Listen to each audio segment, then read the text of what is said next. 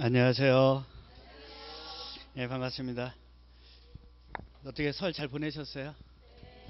예, 다행이네요. 예. 650회죠. 저야 뭐 잘 지내죠. 예, 예. 저분은 그 전주에 안 오셨잖아. 설 전주에.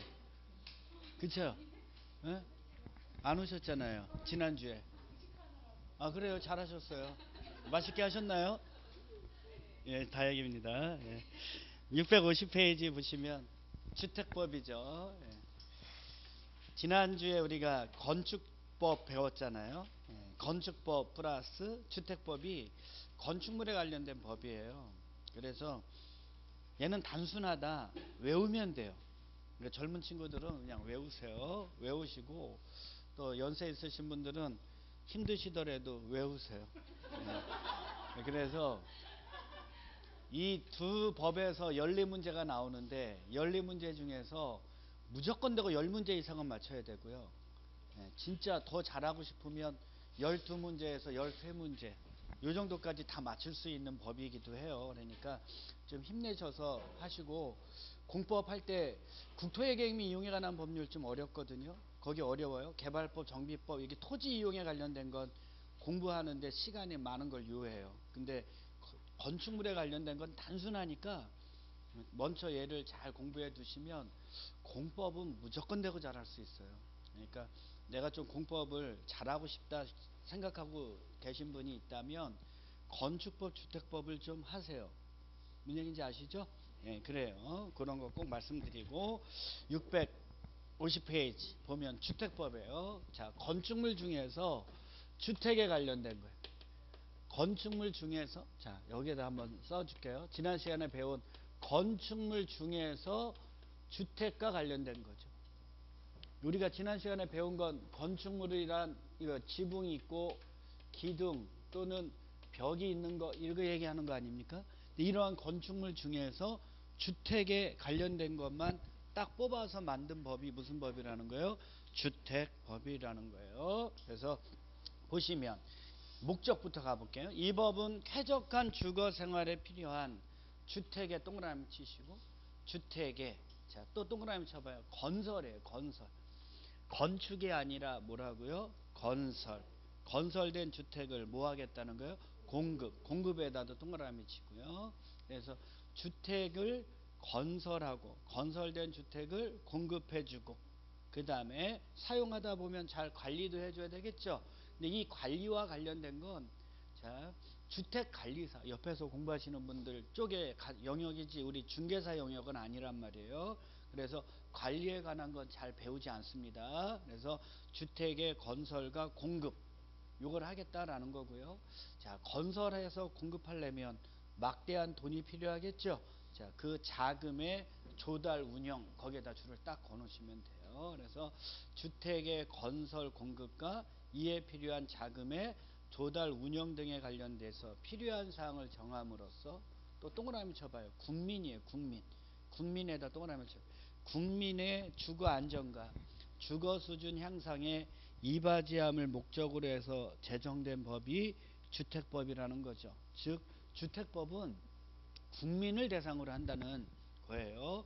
국민을 대상으로 한다는 얘기는 얘는 정책적인 법이다 이런 얘기예요. 얘기인지 아시겠어요? 그래서 자 나라 입장에서 주택을 집단적으로 모여서 건설해서 필요한 자에게 공급해 주겠다는 거예요. 됐죠? 그래서 국민의 주거 안정하고 주거 수준의 향상을 이바지하려고 만들어진 법이 무슨 법이다? 주택법이다 이런 얘기예요. 자 그랬을 때 이제 용어 정의에서는 시험 문제 꼭 나옵니다. 첫 번째가 주택이겠죠. 주택이라는 게 뭡니까? 건축물 중에서 주택이죠. 사용 목적이 어떤 거냐? 우리 식구만의 세대의 구성원이 장기간 독립된 주거 생활을 할 수 있는 구조로 된 건축물이다. 이런 얘기예요. 그리고 건축물의 전부 또는 일부하고 그 건축물에 깔고 있는 뭐까지 부속 토지. 건축물의 전부가 주택이면 그건 단독주택이고 건축물의 일부가 주택이면 그거는 무슨 주택이에요? 공동주택이죠. 그래서 그 건축물의 전부 또는 일부 및 부속 토지를 얘기하고 자 구조에 의하면 단독주택하고 무슨 주택으로 공동주택으로 구분이 됩니다. 그래서 옆에 보면 구조에 의한 분류 이거는 우리가 건축법 시간에 배운 거예요. 구조에 의하면 단독주택하고 공동주택인데 자 이 공동주택에는 자 아파트 연립 다세대만 있지 기숙사는 있다고요 없다고요? 없다고요. 건축법에서는 기숙사가 있었죠. 근데 주택법에서는 기숙사는 공동주택이다 아니다? 아니다. 이유는 우리 아까 국민에다 동그라미 쳤죠? 국민의 주거 안정하고 주거 수준의 향상을 위해서 만들어진 법이에요 특정한 학교나 특정한 공장에 근로하는 자들에게 생활의 근거를 제공하기 위한 건 아니죠. 그래서 기숙사는 주택법상 공동주택에 들어온다 안 들어온다 안 들어온다. 그거 하나만 일단 기억해 주시면 되겠고요. 자 넘겨보세요. 자 이번에는 자금에 의한 구분형 이게 제일 중요하죠. 자이 주택을 자 건설 자금 주택을 건설하는데 들어가는 자금에 의해서 주택을 분류하면 두 가지입니다. 하나가 국민주택, 국민주택하고 민영주택이에요. 국민주택, 민영주택을 구별하는 기준은 뭐라는 거예요? 자금이다. 이거 알아두시면 돼요. 그래서 국민주택이란 자금이 뭐냐? 국민주택 기금 이렇게 돼 있죠. 요게 개정이 됩니다. 7월 달부터 뭐로 바뀌냐면 주택 도시 기금 이렇게 바꿔놓으세요. 국민주택 기금을 지우시고 자 앞으로 주택법에서 국민주택 기금 나오면 다 뭐로 바뀌었다고요? 주택 도시 기금 자 그래서 얘는 주택 도시 기금의 지원을 받아야 합니다.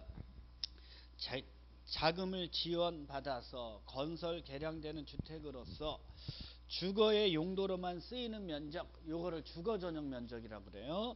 주거 전용 면적이 호당 세대당 단독주택은 호당 공동주택은 세대당 얼마 이하인 거 85제곱미터 이하인 거 그래서 주택도시기금의 지원을 받고 호당 세대당 주거 전용 면적이 85제곱미터 이하인 주택을 우리는 무슨 주택이라고 그래요?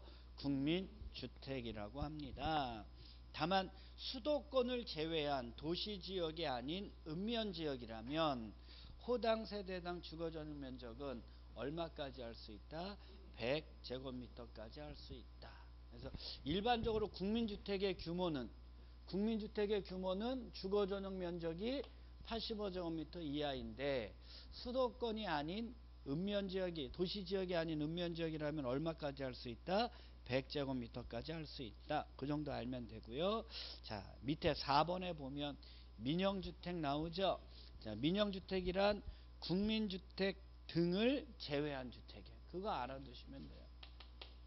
국민주택 등, 등이라고 나오죠. 등을 제외한 주택. 즉, 국민주택의 상대적 개념이 민영주택인데, 됐어요? 자, 근데 국민주택만을 얘기하는 게 아니라 두 가지가 더 있어요. 근데 그건 몰라도 돼요.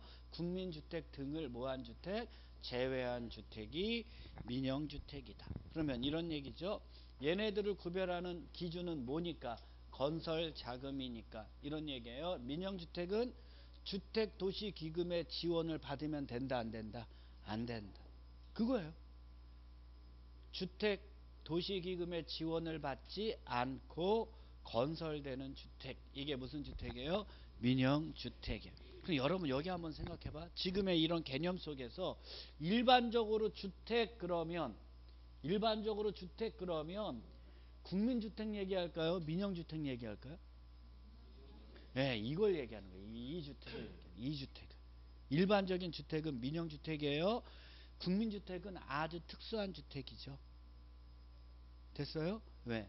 주택 도시기금의 지원을 받아야 되고 호당 세대당 주거 전용 면적이 85제곱미터 이하로 건설되는 주택이니까 아주 독특한 주택은 국민주택. 일반적으로 주택 그러면 무슨 주택 얘기한다고요? 민영주택. 흔한 주택은 민영주택을 얘기하는 거예요. 좋아요. 이번에는 3번에 보면 세대 구분형 공동주택이라는 거 나오죠? 가볼게요.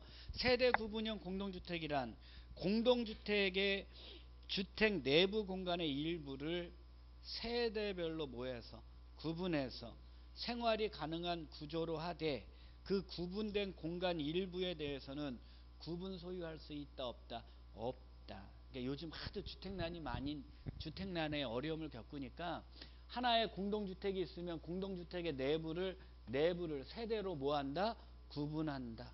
근데 이 하나 이 세대 구분형 공동주택의 구분된 공간마다 구분 소유권 인정한다 안 한다 안 하겠다 이런 얘기고요. 자 가봐요 밑에 박스에 1번 자 세대 구분형 공동주택의 건설과 면적 기준 한번 가볼게요. 세대 구분형 공동주택의 세대별로 구분된 각각의 공간마다 별도의 욕실, 부엌, 현관을 설치해라. 세대별로 그 구분되게 생활이 가능해야 되니까 이런 구조를 갖춰라 이런 얘기고 두 번째 세대 구분형 공동주택의 세대별로 구분된 각각의 공간은 줄 한번 가보세요. 주거 전용 면적이 14제곱미터 이상이어야 합니다. 얼마 이상이요? 14제곱미터 이상. 그 기준 하나만 알아두시면 되겠고 3번 하나의 세대가 통합하여 사용할 수 있도록 세대 간의 연결문 또는 경량 구조의 경계벽 등을 설치해 줄 것. 그 다음에 세대 구분형 공동주택은 주택단지 공동주택 전체 호수의 얼마를 넘지 않으면 된다? 3분의 1을 넘지. 거기다도 줄을 한번 걸어보세요. 공동주택 전체 호수의 3분의 1을 넘지 아니할 것. 세대 구분형 공동주택의 세대별로 구분된 각각의 공간의 주거 전용 면적의 합계가 주택단지 전체 주거 전용 면적 합계의 얼마를 넘지 않아야 된다? 3분의 1을 넘지 않아야 된다. 그러면 이런 것만 기억하세요. 세대 구분형 주택의 주거 전용 면적은 얼마 이상이고 14제곱미터 이상이어야 하고 어쨌든 뭐 호수 세대 수는 수든 주거 전용 면적이든 얼마를 넘으면 안 된다. 전체의 3분의 1을 넘지 않아야 된다. 이렇게만 알아두시면 되겠고요. 자, 4번 도시형 생활주택. 얘는 좀 잘 알아두셔야 돼요. 도시형 생활주택 갑니다. 300세대 미만 거기다 줄으시고. 자, 도시형 생활주택의 기준입니다. 자, 몇 세대 미만이다? 300세대 미만이다. 300세대 미만이다. 세대라는 말을 썼으니까 얘는 단독주택, 공동주택. 공동주택이라는 거예요. 공동주택인데 몇 세대 미만이다? 300세대 미만이어야 되고 동시에 국민주택 규모의 주택이다.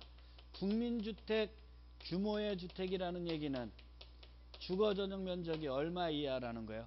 85제곱미터 이하여야 한다라는 얘기고요.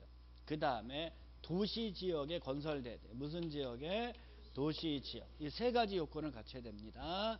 자, 300세대 미만이고 국민주택 규모의 주택이어야 하고 도시 지역에 건설되는 다음에 세 가지를 얘기하는데 크게는 두 가지로 나뉘어요. 하나는 단지형. 하나는 무슨 형이요? 단지형. 또 하나는 원룸형인데 자, 단지형에는 공동주택이라 그랬죠. 단지형에는 아파트가 있다 없다 없어요. 그래서 단지형에는 무슨 주택? 연립주택하고 다세대 주택만 있고요. 원룸형 주택에는 다 있어요. 아파트, 연립, 다세대 다 있으니까 그냥 원룸형 주택 이렇게 얘기합니다. 그래서 단지형 연립주택, 단지형 다세대 주택, 그 다음에 원룸형 주택이 무슨 주택이다? 도시형 생활주택인데 자 연립주택이나 다세대 주택은 주택으로 쓰이는 층수가 몇 개 층이야죠? 4개층 이하인데 얘는 건축위원회의 심의를 거치면 몇 층까지 할 수 있다고? 5층까지 할 수 있다라는 거 하나 알아두시고 자 중요한 건 원룸형이에요. 자 원룸형은 1번 갑니다. 세대별로 독립된 주거가 가능하도록 욕실 부엌을 설치해야 되고요. 욕실 및 보일러실을 제외한 부분을 하나의 공간으로 해라. 그러니까 원룸이죠. 하나의 공간으로 해라 원룸형인데 다만 주거 전용 면적이 얼마 이상이면 30제곱미터 이상이면 두 개의 공간으로 할 수도 있다. 투룸으로도 할 수 있는 거예요. 원래 원룸은 하나의 공간으로 해야 되잖아요. 근데 주거 전용 면적이 얼마 이상이면 30제곱미터 이상이면 투룸으로도 할 수 있다 없다 있다. 그 다음에 제일 중요한 게 3번이에요. 자 원룸형 주택의 세대별 주거 전용 면적은 14제곱미터 이상 50제곱미터 이하야 돼. 그걸 좀 잘 알아두세요. 얘 세대별 주거 전용 면적은 14제곱미터 이상 얼마예요? 50제곱미터 이하인데 자, 이 중에서 30제곱미터 이상이면 투룸으로도 할 수 있다. 그래서 자, 원룸형 주택의 세대별 주거 전용 면적 외워요. 원룸이니까.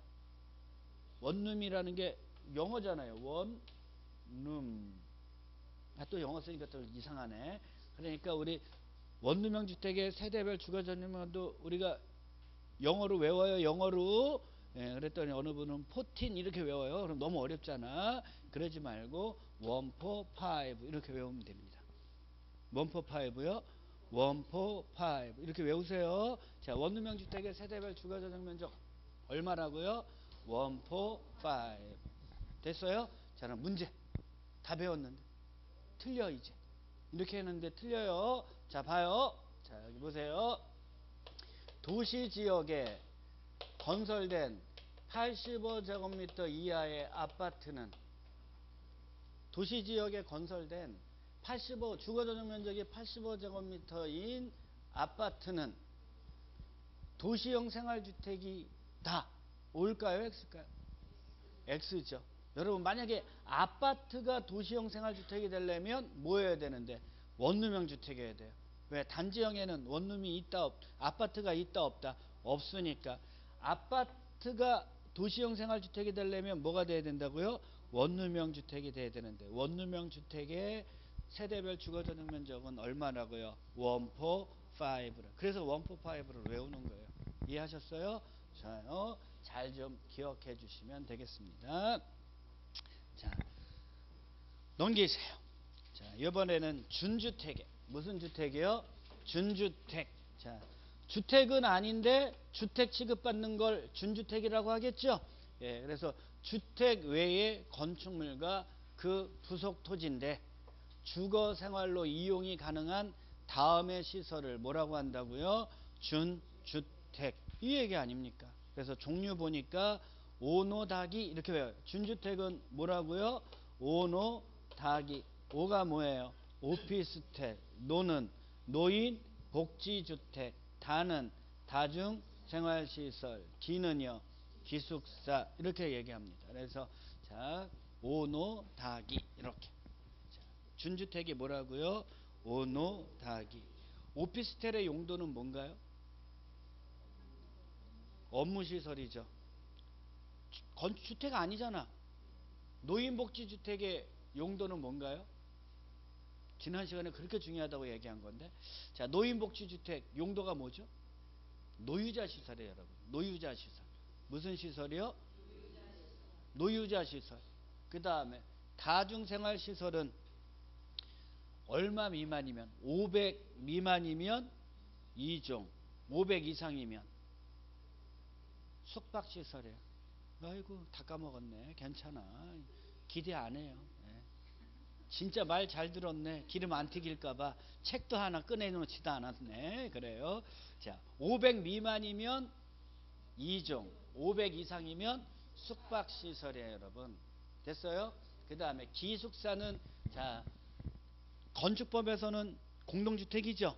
근데 얘는 주택법에서는 공동주택이다 아니다 아니다. 그러니까 오노다기는 주택 외의 건축물이죠. 용도가 주택은 아니잖아. 주택 외의 건축물과 그 부속 토지인데 주거 생활로 이용이 가능한 시설이다. 그래서 얘를 뭐라고 한다고요? 준주택. 그래서 앞자 따서 외우면 뭐라고? 오노다기. 좀잘좀 알아두시고요. 3번에 공공택지라는 개념 알아야 돼요. 아이고 이러다 날새게 생겼어요. 빨리 갑니다. 이제 공공택지란 다음의 강목의 어느 하나에 해당하는 이렇게 돼 있죠. 이게 수용 방식 이렇게 위에다 써놓으세요. 무슨 방식이요? 수용 방식. 수용 방식으로 시행하는 공공사업이에요. 공공사업이라는 게 뭐예요? 공적인 시행자가 시행하는 공익사업이다 이런 얘기예요. 공적인 시행자가 시행하는 공익사업에 의해서 개발 조성되는 동그라미 쳐보세요. 공동주택이에요. 공동주택이 건설되는 용지를 뭐라고 한다고요? 공공택지. 그러면 우리가 5번 정도 하나 알아두면 돼요. 도시개발 사업 배웠죠? 도시개발 사업은 수용 방식으로 할 수 있나요, 없나요? 있어요. 공적인 시행자가 시행해야 됩니다. 공적인 시행자가 무슨 방식으로 수용 방식에 의해서 시행되는 도시개발 사업에 의해서 개발 조성되는 공동주택 건설 용지면 그건 뭐라고요? 공공 택지. 한 가지 예를 들어 드린 거예요. 자, 여기 봐봐. 자, 수용 방식에 의해서 시행되는 공공사업에 의해서 개발 조성되는 공동주택 건설 용지 줄여서 뭐라고 한다고요? 공공택지. 그러면 정비사업은 정비사업은 공공택지의 개념이 나올 수 있을까요? 없을까요? 없죠. 예, 그거 하나만 알면 되고요. 자, 이번에는 4번 갑니다. 주택단지란 주택건설 사업계획 또는 대지조성 사업계획 승인, 사업계획 승인에다 줄을 땅 거놓으시면 돼요. 사업계획 승인을 받아서 주택과 부대 복리시설이 건설되거나 대지를 조성하는 데 사용되는 일단의 토지를 뭐라고 한다고요? 주택단지. 그 개념만 알아두시면 되겠습니다. 넘기세요. 부대시설, 복리시설 나오죠. 자, 사업계획 승인을 받아서 주택이 건설되는 일단의 토지가 있어요. 그러면 그 일단의 토지를 주택단지라고 했을 때 주택단지에는 주택만 있는 게 아니에요. 그렇죠? 이런 주택이 있으면 주택에 딸리는 시설이 있다 없다 있다. 그걸 뭐라고 한다고요? 부대시설이고 또 여기 주택에 입주한 사람들의 생활복리를 위한 공동시설 있죠? 그거를 뭐라고 한다고요? 복리시설이라고 합니다. 그래서 부대시설하고 복리시설은 어디에 있는 거예요? 주택단지 안에 주택에 딸리는 거면 부대시설 거기에 입주한 입주자 등의 생활복리를 위한 공동시설이면 복리시설. 개념정이 끝났어요? 그러면 따져보면 돼 주차장. 주차장은 주택에 딸려야 돼요? 아니면 생활 입주자 등의 공동생활을 위한 복리시설이에요? 그러면 주차장은 뭐라고요? 부대시설. 어린이 놀이터 같은 거 어린이 놀이터가 부대시설이에요?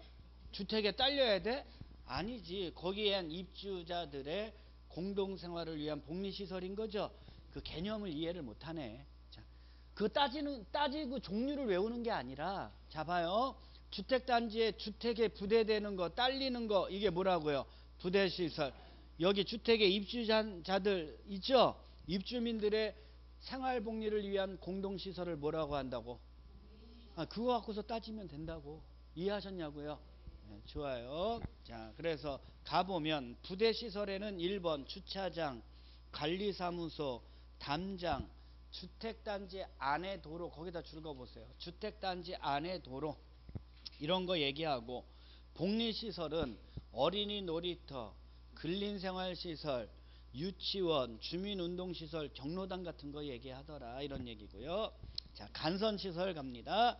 간선시설이란 도로, 도로에다 줄거보시고 도로, 상하수도, 전기, 가스, 통신, 지역 난방시설 등 주택단지 안의 기관시설을 그 주택단지 바깥에 있는 같은 종류의 기관시설에 연결시키는 시설이 뭐라는 거예요? 간선시설. 그럼 이런 거예요. 주택단지 안에만 있으면 부대시설, 복리시설. 근데 주택단지 안에 있는 거하고 주택단지 바깥에 있는 같은 시설이 있죠? 이거를 서로 이렇게 연결시켜주는 시설은 뭐라는 거예요? 간선시설이다 이런 얘기인데 단 가스시설, 통신시설, 지역 난방시설이라면 주택단지 안에 있는 기관시설이라도 뭐가 된다는 거예요? 간선 시설이 된다는 거예요. 연결시켜 주는 게 아니라 하나의 주택단지 안에만 있어도 간선시설 되는 게 뭐라고요? 가스, 통신, 지역 난방시설. 앞잡다면 가스통 지역이 가스통 지역은 무조건 되고 뭐라는 거예요? 간선시설. 그 정도 알아두시면 되겠습니다. 넘기세요. 리모델링. 자, 알아둬야죠. 건축물의 노후화 억제 또는 기능 향상 등을 위해서 대수선 또는 일부 증축하는 행위가 리모델링 이거는 건축법 시간에 배운 거예요. 그렇죠?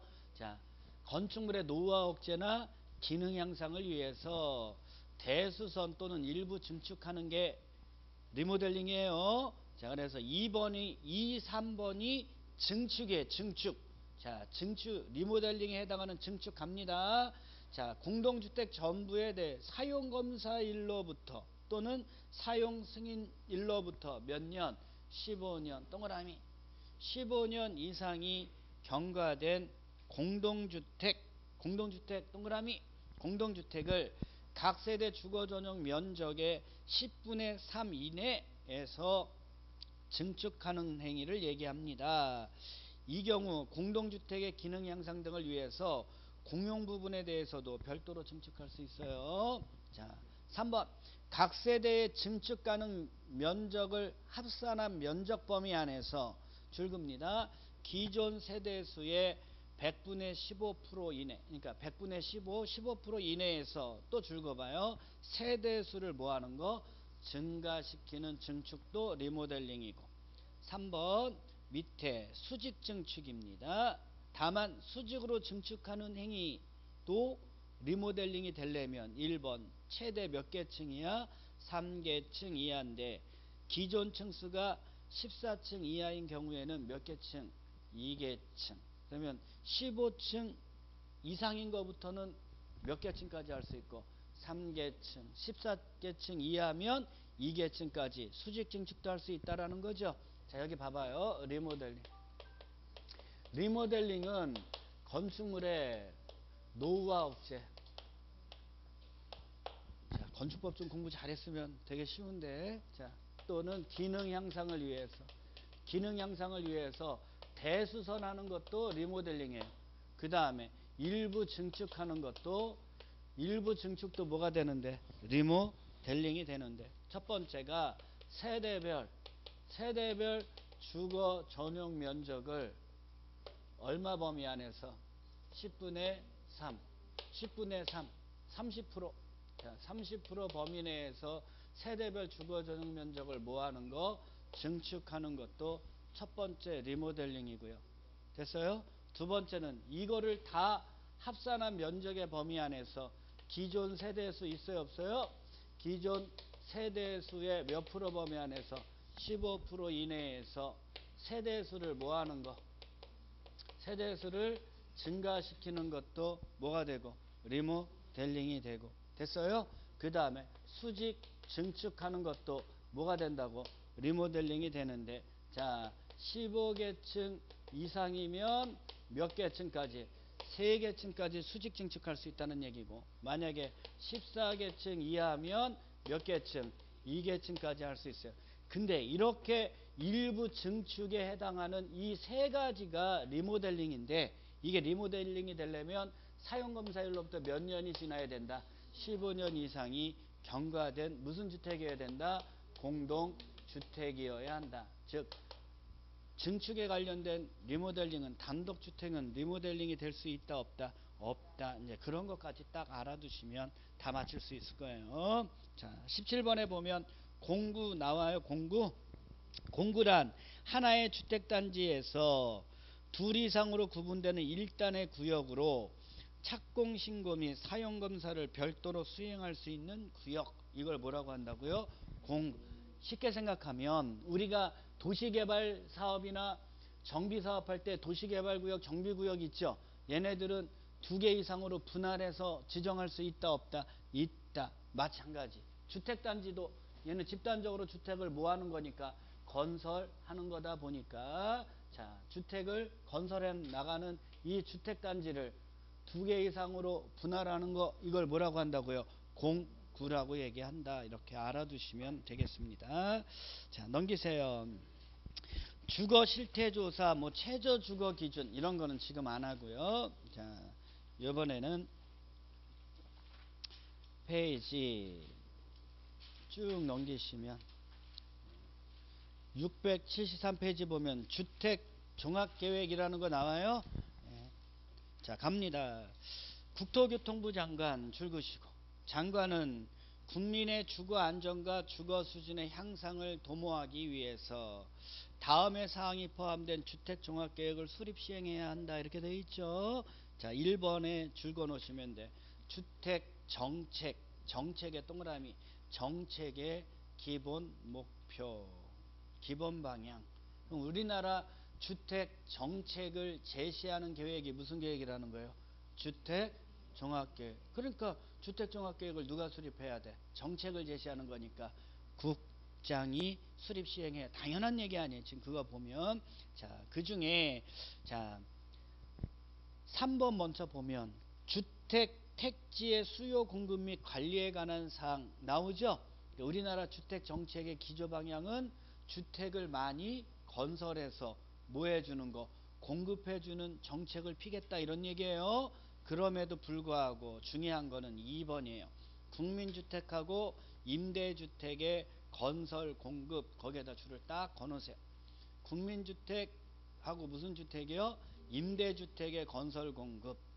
그 다음에 5번 저소득자, 무주택자 등 주거복지 차원에서 지원이 필요한 계층에 대한 주택 임차료 보조 및 주택 지원에 관한 사항 이렇게 나오죠.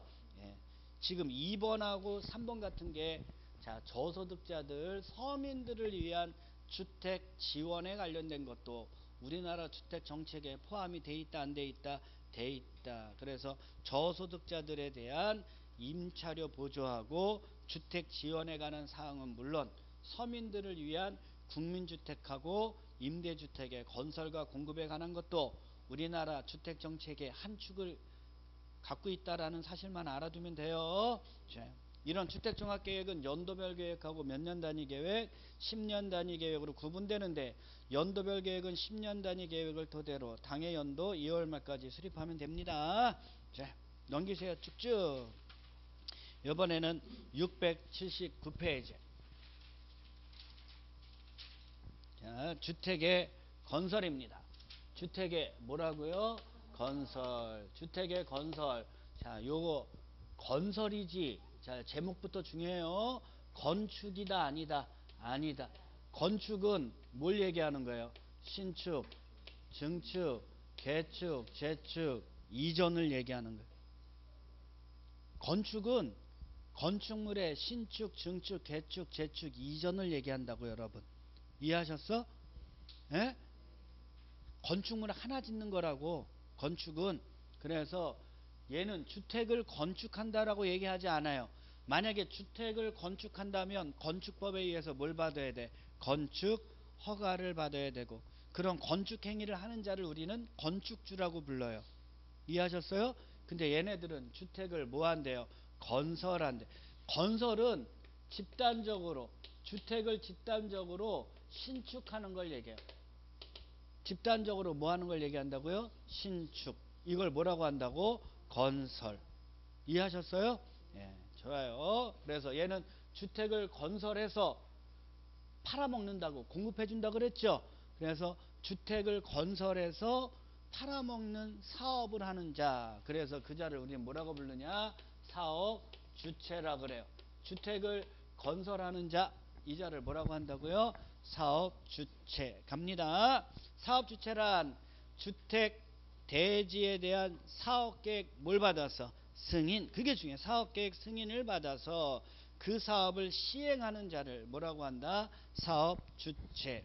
근데 첫 번째가 등록 비등록 사업 주체 이렇게 나오죠. 자, 첫 번째가 등록 사업자입니다. 무슨 사업자요? 등록 사업자. 이거 중요해. 등록 사업자는 좀 알아두셔야 돼. 자, 얘는 뭐 해야지? 등록해야지 사업 주체가 될 수 있는 자를 뭐라고 한다? 등록 사업자. 그래서 연간 동그라미. 연간이면 1년간 이렇게 얘기하는 거예요.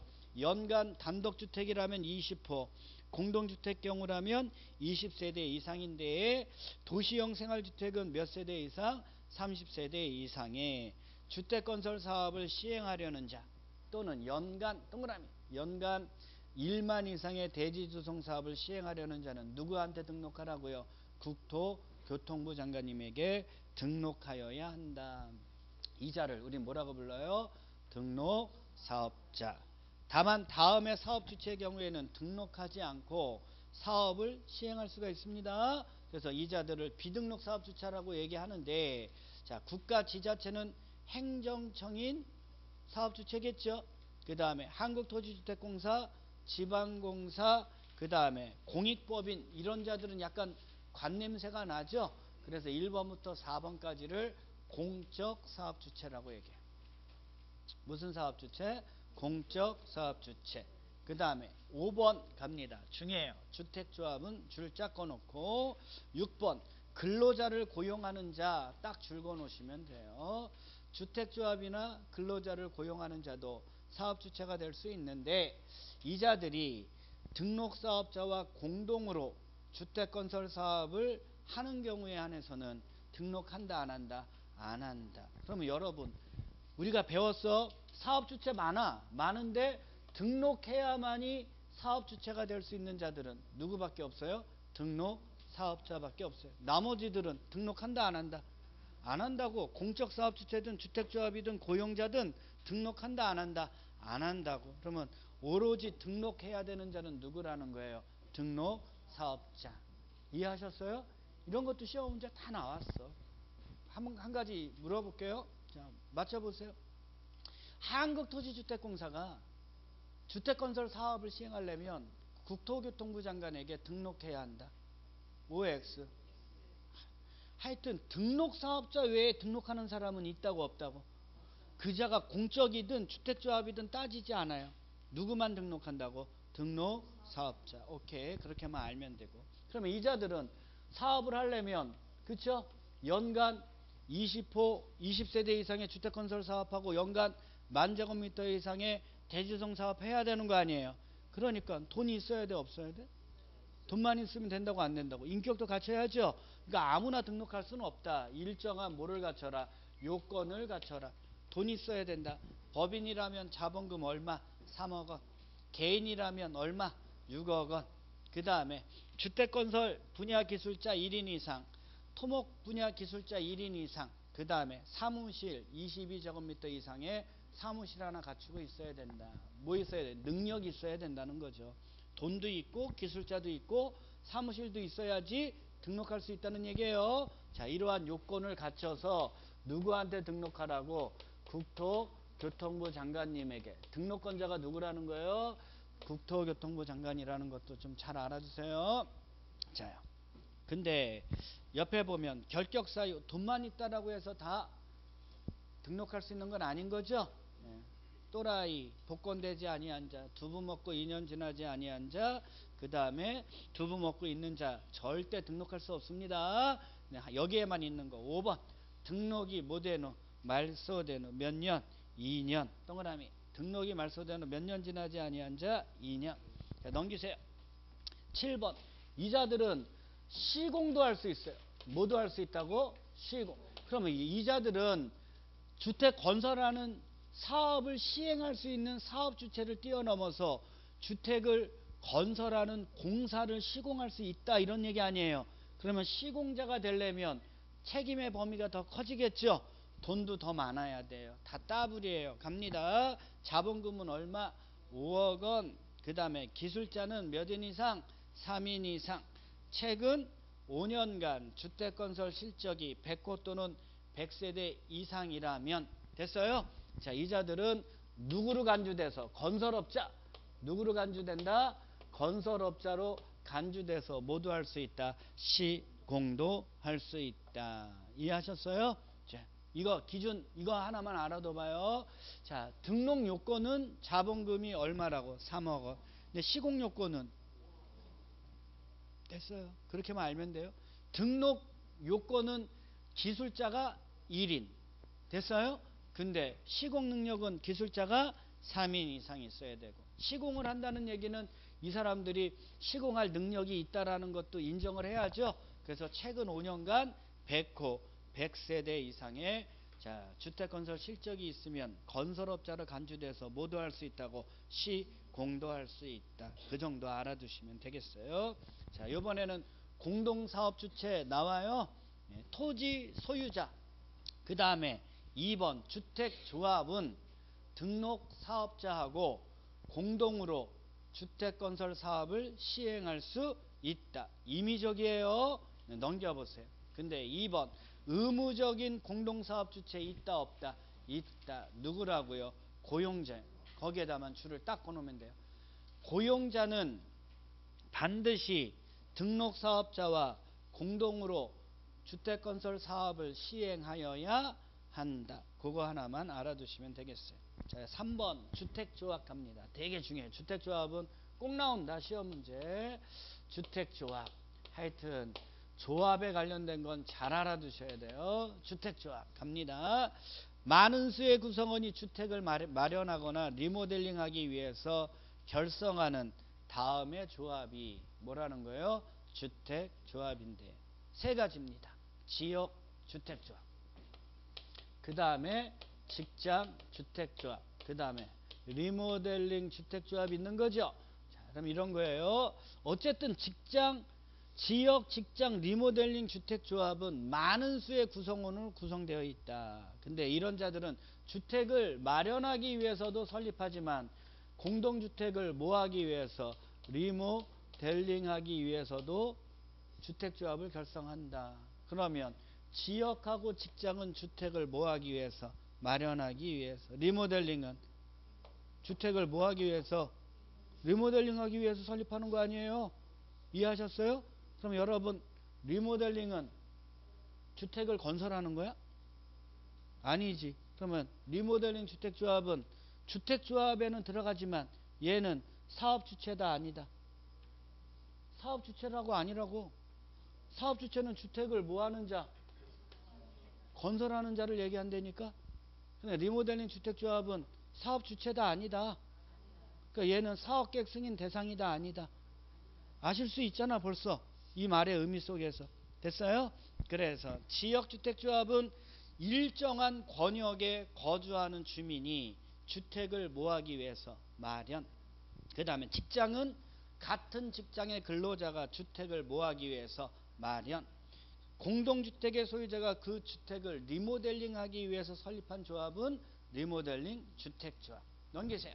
자, 어쨌든 이러한 조합을 설립을 하려면 설립을 하려면 누구한테? 시장, 군수, 구청장한테 뭘 받으면 돼요? 설립, 인가.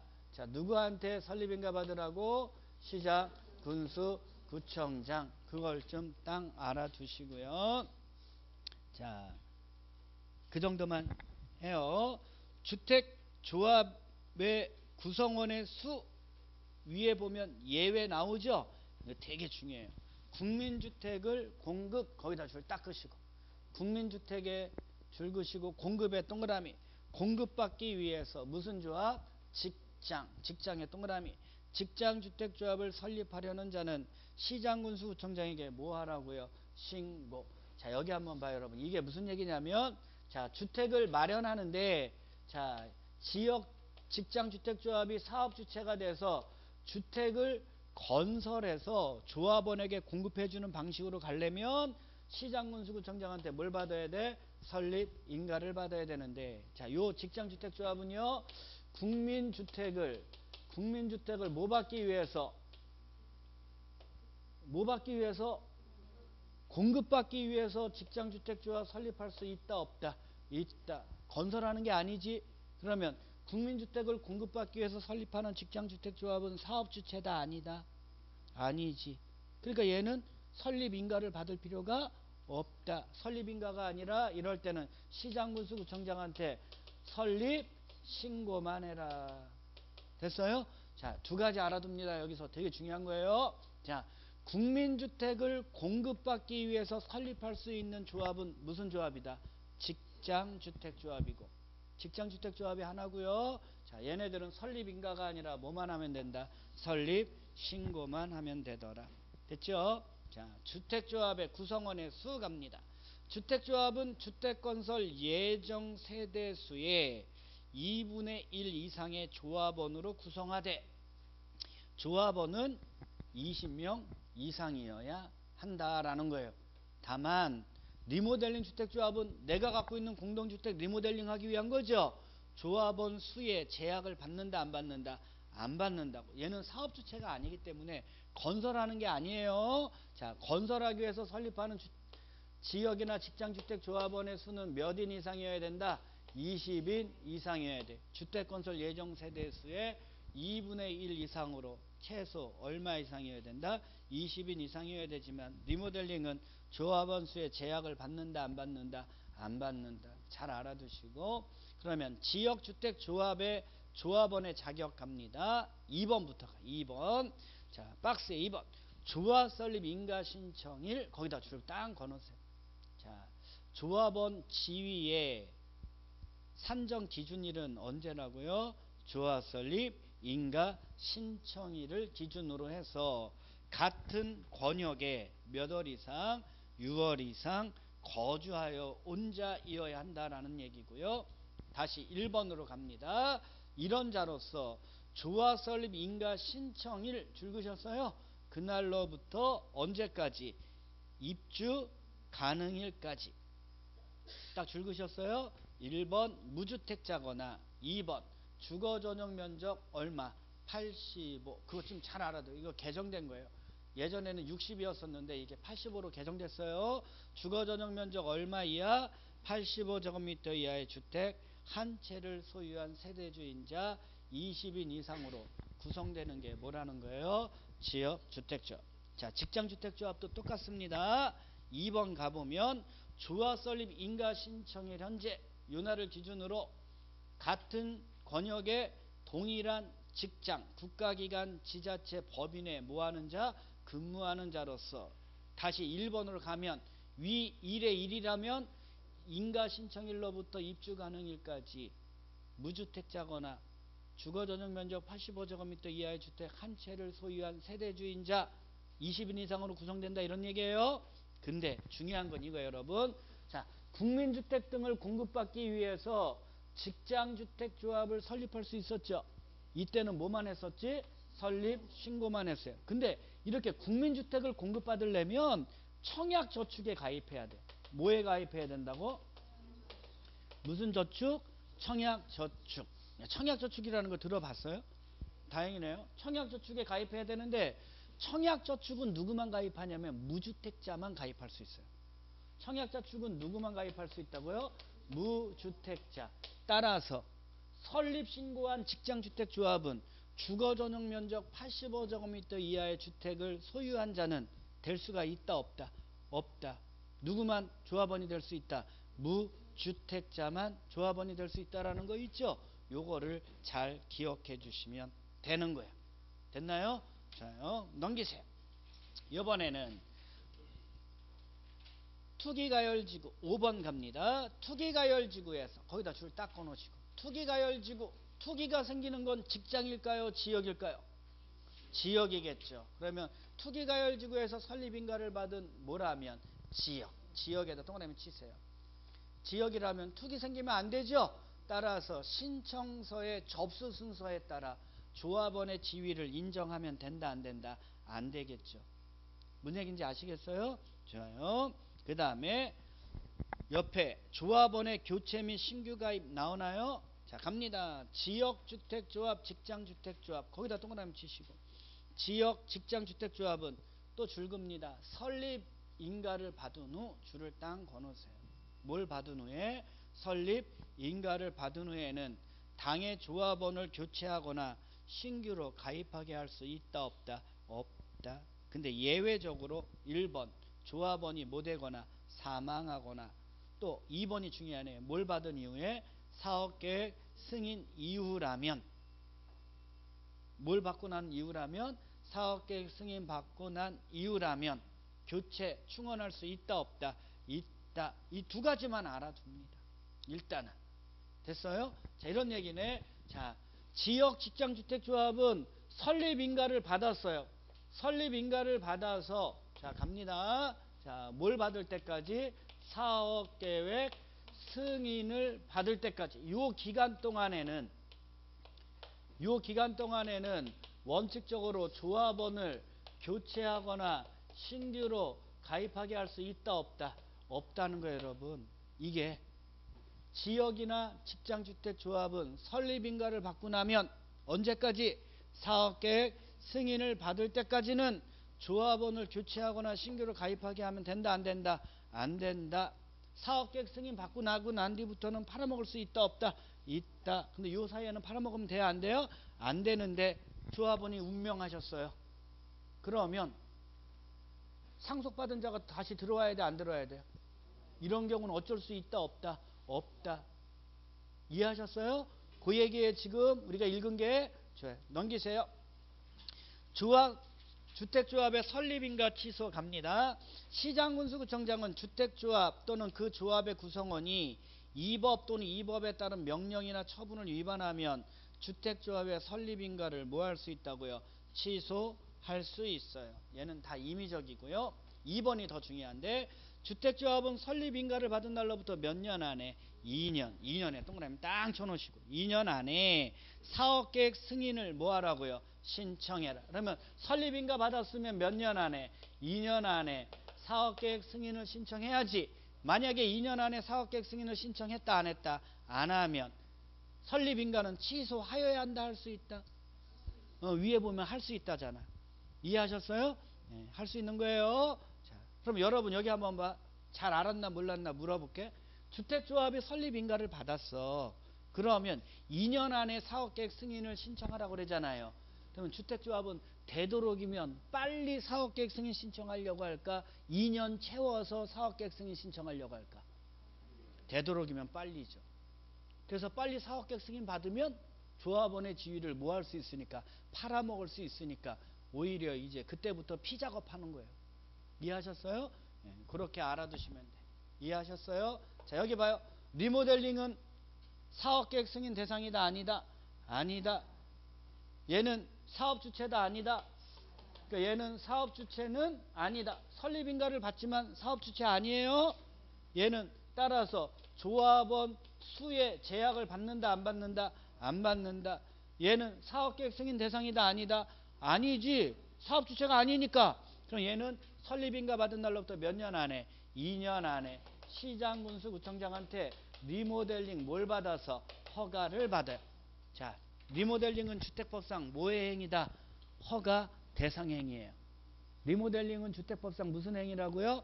허가 대상 행위라고. 주택을 건설하는 행위가 아니니까 사업 주체 아닙니다. 조합원의 수에 제약을 받지 않아요.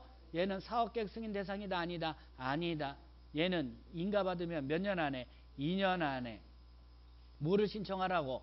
허가. 리모델링 허가를 신청해서 허가 받아서 리모델링 한다는 거예요. 이해하셨어요? 구별하실 수 있냐고? 자, 주택조합 기본이에요, 여러분. 이거 알아두셔야 돼. 자, 주택조합은 너무 중요합니다. 그러면 우리는 지금 사업주체 공부하잖아요. 사업주체 공부하니까 뭐를 빼버리면 돼? 리모델링은 빼버리면 되는 거예요.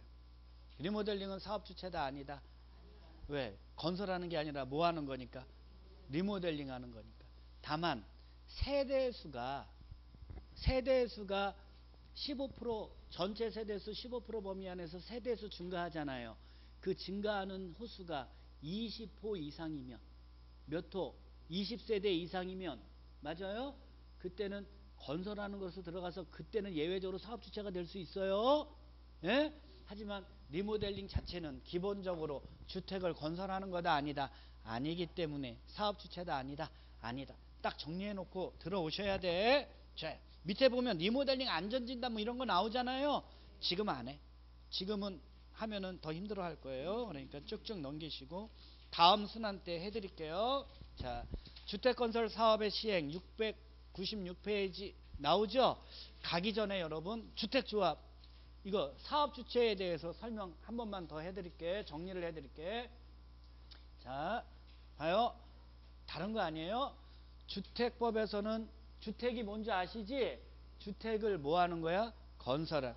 집단적으로 신축하는 거예요, 여러분. 집단적으로 신축 됐어요?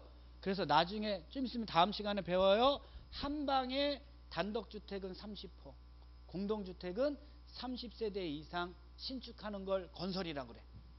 한 방에 몇 호? 30호 또는 몇 세대? 30세대 이상을 신축하는 걸 뭐라고 한다고? 건설이라고 그래. 뭐라고 한다고요? 건설. 이해하셨어? 그래서 이러한 건설을 하려면 건축 허가 받는 거 아니다. 건축 허가 대상이 아니라 뭘 받아야 된다? 사업계획 승인이야. 그래서 주택법에 의해서 뭘 받아서 사업계획 승인을 얻어서 주택 건설 사업 대지 조성 사업을 시행하는 자를 뭐라고 하는데 사업 주체. 벌써 여기서 다 배운 거야 이제 요, 요 말 속에서 이걸 끄집어내야 돼. 사업 주체라고 하는데 일반적으로 사업 주체 이렇게 얘기하면 누굴 얘기하냐면 등록 사업자를 얘기해요. 주택법에서 일반적인 사업 주체 그러면 누구 얘기한다고? 등록 사업자. 누구한테 등록해야 돼? 국장한테. 국장한테 등록한 자를 얘기하는 거예요. 그럼 이 자들은 많은 주택을 지어야 되니까 일정한 요건이 있어야 돼, 없어야 돼? 있어야 돼. 그래서 자본금 3억, 개인이라면 6억, 더블이야. 그 다음 기술자는 1인 이상. 사무실 있어야 돼, 없어야 돼? 약 7평 이상, 22제곱미터 이상의 사무실 갖추면 됩니다. 요걸 갖춘 자로서 자 결격사유에 해당하지 않는 자는 누구에게 국장에게 등록하면 사업 주체가 될 수 있다. 그 자를 뭐라고 한다고? 등록 사업자. 근데 이 자들은 사업 주체뿐만이 아니라 시공도 할 수 있다 없다. 있다. 그러려면 책임감이 더 커져야 돼요. 자본금 기술자는 좋아. 그러면 모두 할 수 있다고. 시공 건설업자를 간주된다는 거예요. 그래서 일반적으로 아무 말 없이 주택법에서 사업 주체 그러면 누구 얘기한다고? 등록 사업자. 이자 빼고 나머지들은 등록한다 안 한다? 안 해. 공적 사업 주체도 등록 안 하고 주택조합도 등록해야 안 해요? 안 하고 고용자도 등록한다 안 한다? 안 해. 근데 그 중에서 주택조합을 공부하는 거예요. 주택조합의 종류는 세 가지야. 지역, 직장, 리모델링이 있는데 리모델링은 주택을 리모델링 하는 거니까 얘는 사업 주체다 아니다 아니다 사업계획 승인 대상이 아니라 시장군수구청장의 허가 대상이 된다 끝이야 이해하셨어요? 그러면 지역하고 직장은 주택을 뭐하기 위해서 마련하기 위해서 즉 주택을 건설하기 위해서 설립한다 이런 얘기예요 그러면 시장군수구청장한테 뭘 받아야 돼? 설립 인가를 받아야 되는데 맞아요? 이자들은 조합원이 몇 인 이상이어야 돼? 20인 이상이어야 되는 거예요. 주택건설 예정 세대수의 2분의 1 이상으로 20인 이상의 조합원을 갖추고 있어야 됩니다. 그리고 설립인가를 받으면 몇 년 안에? 2년 안에 사업계획 승인을 신청해야 돼요. 그렇지 않으면 설립인가 뭐 할 수 있다고? 취소할 수 있어요. 그래서 설립인가를 받고 난 후에는 지역이나 직장주택 조합원의 지위는 함부로 팔아먹을 수 있다 없다 없다 언제까지 사업계획 승인을 받을 사업계획 승인 받고 나서는 팔아먹을 수 있다 없다 있다 이해하셨어? 좋아 근데 그 중에 직장주택 조합 있어요 없어요? 얘는 국민주택을 뭐 받기 위해서 공급받기 위해서 설립할 수도 있다 없다 있다 얘는 사업주체도 아니다 아니잖아. 공급받는 거니까. 자, 이럴 때는 시장군수구청장한테 설립 뭐만 하라고 신고만 해라. 맞아요? 자, 이때는 무조건 되고 누구만 될 수 있다. 무주택자만 될 수 있는 거야. 그래서 여기서 조합원 따질 때 항상 이날을 기준으로 한다고. 설립인가 신청, 인가 신청일을 기준으로 해서 맞아요? 주택 다 지어서 입주 가능한 날 있어요, 없어요? 그래서 사업 다 끝나고 나서 자기 자기 주택에 입주할 때까지 누구거나 무주택자이거나 됐어요? 주거 전용 면적 얼마이야? 85제곱미터 이하의 주택 한 채를 소유한 자 20인 이상으로 구성되는 건데 맞아요? 국민주택을 공급받기 위해서 설립한 직장주택 조합원은 누구만 가능하다? 무주택자만 가능하다. 이렇게 딱 정리해 놓으시라고. 정리하실 수 있겠냐고요. 중요하니까 꼭 하세요. 자, 696페이지 주택건설 사업의 시행 나오죠? 요건 잠깐 쉬었다 하도록 하겠습니다.